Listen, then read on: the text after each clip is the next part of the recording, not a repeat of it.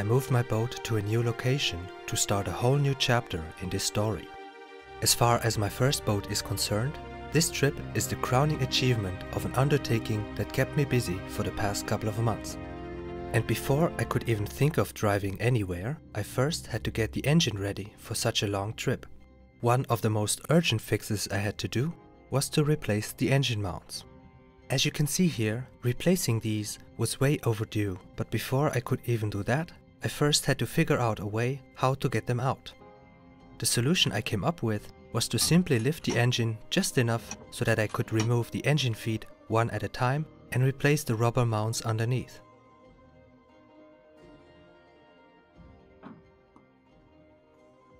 I ordered the new mounts directly from the German manufacturer Meinert, who were really helpful in figuring out exactly which hardness of rubber I should choose. All I had to do is to add some nuts to get the new mounts at the same height as the old ones. And so I got everything ready to be able to remove the mounts, first the two rear ones. I added some zinc aluminum paint before putting the mounts back, even though that spot was not prone to rusting heavily. Next all I had to do is to put the engine foot on top and bolt it back to the engine.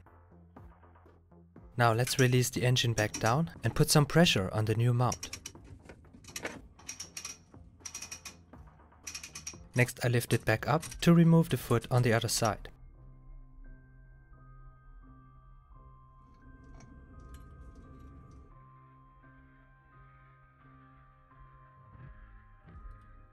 Here too, after I remove the engine mount, I use some brake cleaner to remove the worst in terms of oil and grease.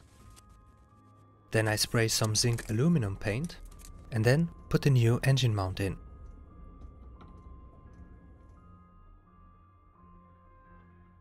and I top it off with a large washer. After I put the engine foot back, the two mounts in the rear are done. Next I attached the bracket to lift the engine to the front of the engine. I moved my engine gallows further forward so that I could raise the engine in the front.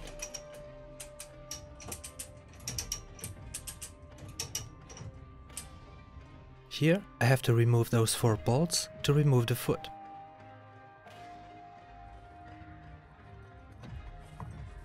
Now let's replace the engine mount.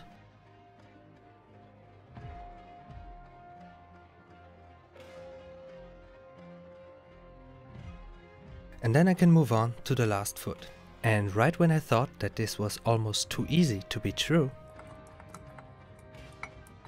for some reason on this side only the nuts came off the bolts, leaving the shaft of the bolts in place, preventing me from removing the foot. Luckily, this engine mount was still okay, so I just left it in for the upcoming trip. And so with that, the work is done and I can lower down the engine for the last time.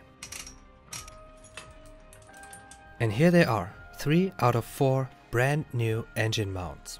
And of course I added some thread locker to prevent the bolts from undoing themselves. So now it's time to start the engine.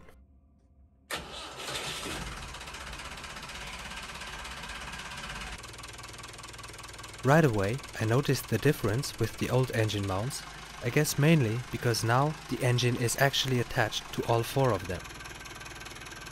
All in all, I have a good feeling about this, so now we can drive. For several days before the trip, I took great care to get the boat ready for the 7 hours of driving that were ahead of me. After a last round of checks, all I had to do was to start the engine.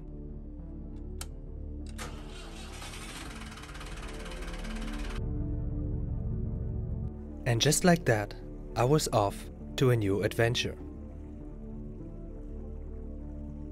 Of course, that meant that I had to leave behind my beloved platform boat.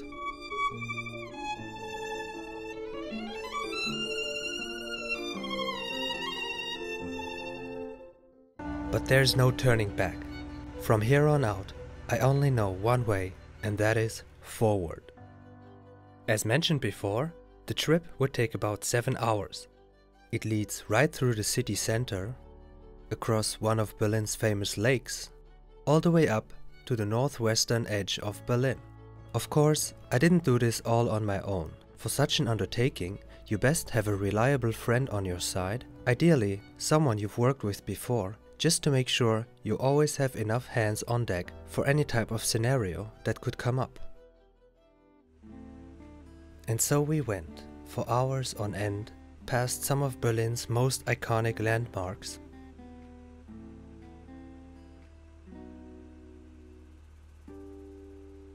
Past this little houseboat village and through seemingly endless canals. We only had two water locks on a 38 kilometer trip.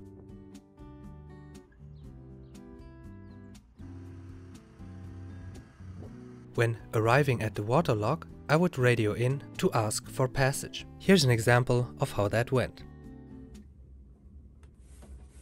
Hier ist Sportboot Nofretete an Schleuse Plötzensee bitte. Over.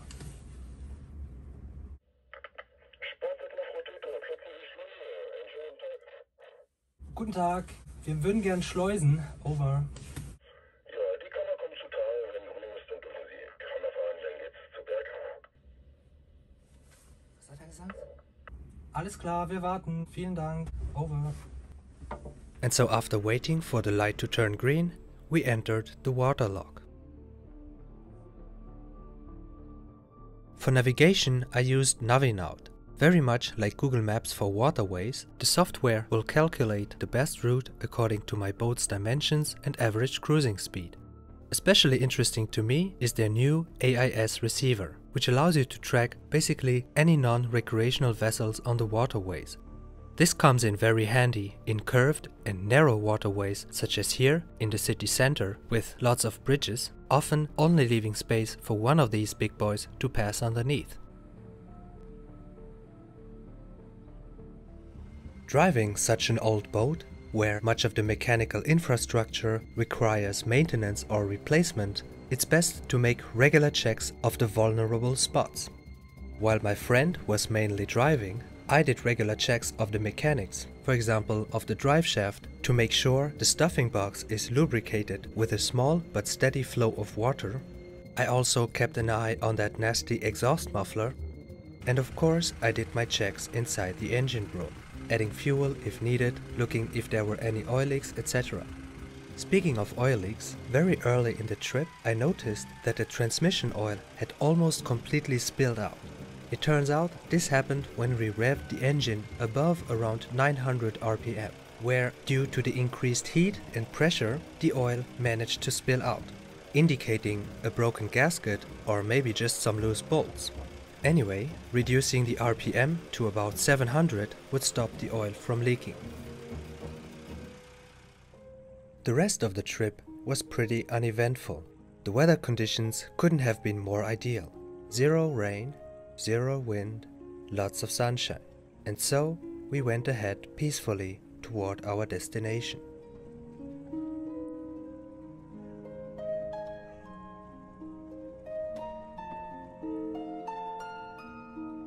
Once arrived, we just had to dock the boat at the shore.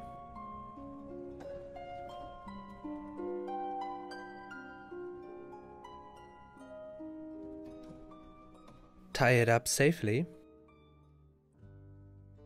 turn off the engine,